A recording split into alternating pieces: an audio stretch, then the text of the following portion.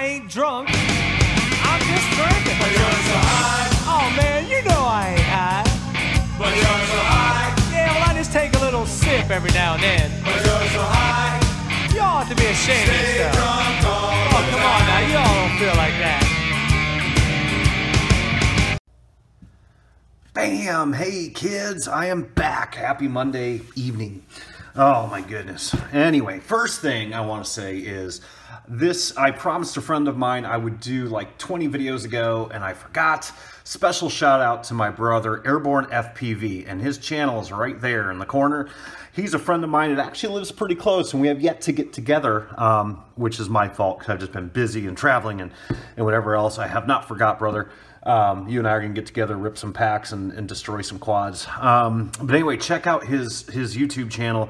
He's uh, doing a lot of reviews and instructional stuff, and he's trying to get it off the ground. So if you know me, um, go over to his channel, leave a message, say, "Hey, JJ said, hey, whatever." He's a good guy. Lives just down the road, and uh, where the fuck do you live, dude?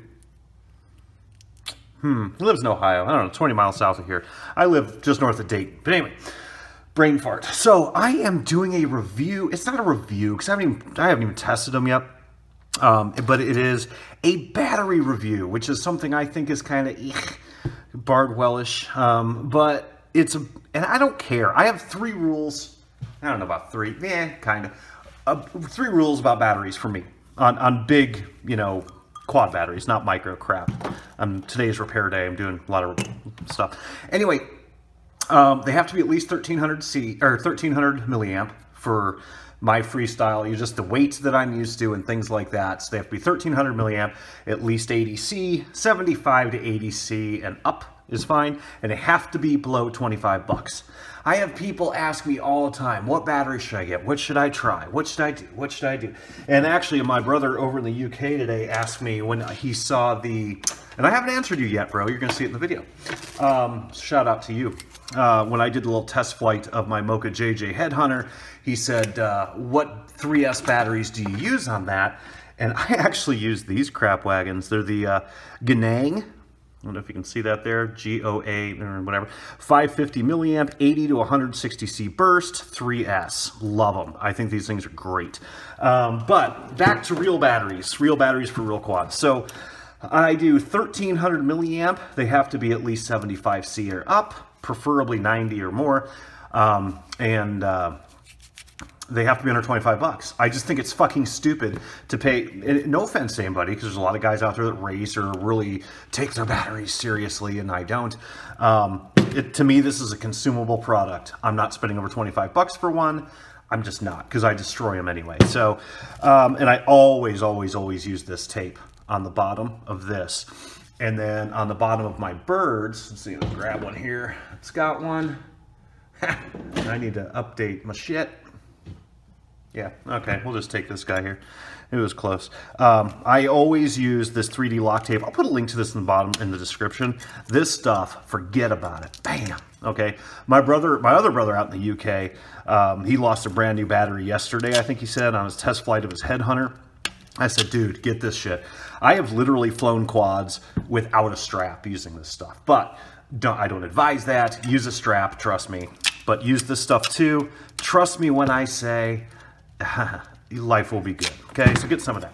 Anyway, so I wanted to try these batteries out because one of the guys in the club, quite a while ago, I saw it. Uh, we have a big online chat thing that we keep doing over and over, you know, every single day, 24 hours a day. Special shout out to you, Demi. Uh, glad you're okay after your surgery. But anyway, um, and one of the guys, I saw it in our, our, our chat room, uh, said, you've got to try these batteries. They look cool. I don't think he had tried them, and I can't remember who the hell even told me to do them anyway. Uh, so I did. I said, fuck it, let's give it a go. 1300 milliamp 4S. Let's see what we get. This is by Indestructible Quads. These are the Black Label series. Look at it. Gorgeous. Uh, I don't know if you can see it. It's really hard to see. By Indestructible Quads, 80C, 1300 milliamp, and they're 22 bucks. And they have real heat shrink on them instead of that plastic whiny ass keep your Bardwell fresh shit. I hate this stuff. It rips off all the time. My tape doesn't stick to it half the time. That's why I wrap electrical tape around it because this tape sticks better to it. Yeah, this has real heat shrink over it, which is great. Nice silicon wires, blah, blah, blah, blah. XT60, of course, 22 bucks. Bam, forget about it. Um, 80C discharge. I don't think it's anything super special. I mean, it's it's a fucking lipo. I'm sorry. I think lipos. There, a, there's a ton of fucking hype in the lipo world about oh ours does this and ours does that and ours is blah blah blah. Eh, I think it's crap. But anyway, let me get out my JJ Roto Geek four thousand dollar battery tester, and to prove, see four thousand dollars It's called a fucking fluke, Bardwell. Anyway, I'm doing this just for fun. Let's see what their storage capacity is. I just got these in today. I got four of them. 15.49. Beauty. Okay. 4,000 bucks. You guys can have it.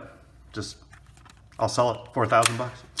So anyway, um, let's see what it weighs, because some people care about that. Um, yeah, I don't know.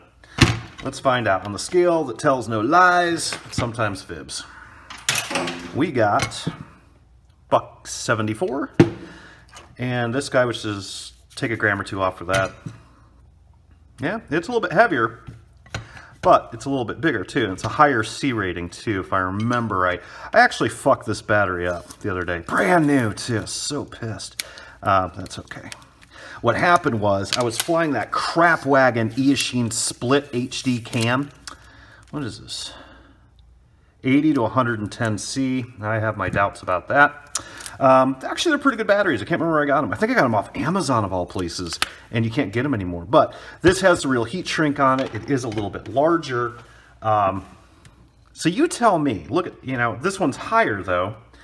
I don't know. I think this is going to be a better battery. Yeah, it weighs a little bit more, but mm, unless it's disease, dead, or ass, bigger is usually better. But anyhow, um, 22 bucks you can't go wrong. I think these were 24, 23, and they're good. These are, well, whatever the fuck these are, infinities. Okay. I've used their micros quite a bit. Um, but yeah, these look pretty sweet. Um, yeah, it's a fucking battery. I'm sorry. It's I don't do battery reviews. I think batteries are extremely subjective. A long time ago when I first started the channel, I did some battery charging techniques and tips and things. And uh, I had people blast me out of the water. It's like, that's not how I do it. You should do it this way. And that's not how I do it. You should do it this way. And blah, blah, blah, blah. And I'm like, really?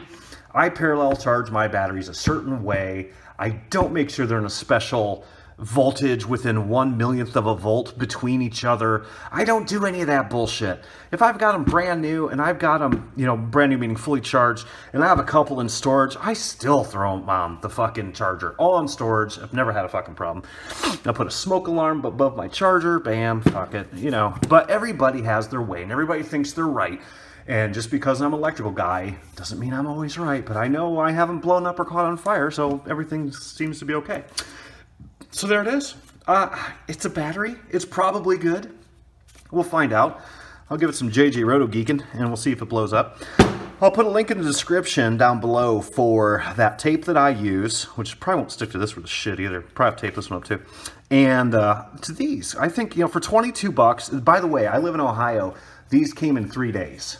I ordered four of them, came in three days. Oh, and they also sent me three battery straps with the rubbery crap on the bottom. Looks like one of Bardwell's little thongs. It'd be a lot bigger than that, I imagine.